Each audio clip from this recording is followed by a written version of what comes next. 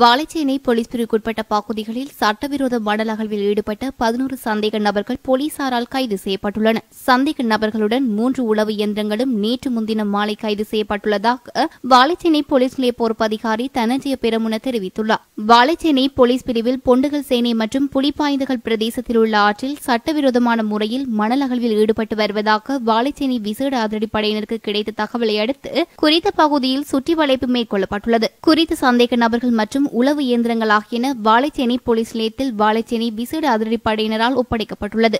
Valaichenai police பிரிவில் சட்டவிரோத மண்ணகழ்வு மற்றும் சட்டவிரோத மரம் கடத்தல் நடவடிக்கைகள் தொடர்ந்து இடம்பெற்று வருவதாகவும் அதனை தடுப்பதற்கு வாழைச்சேனை போலீஸ் நிலையத்தில் விசேட குழுவினர் மற்றும் வாழைச்சேனை விசேட அதிரடிப்படையினர் செயல்பட்டு வருவதாகவும் போலீஸ் நிலைய பொறுப்பு அதிகாரி தனஞ்சய பெருமுன மேலும் தெரிவித்துள்ளார்.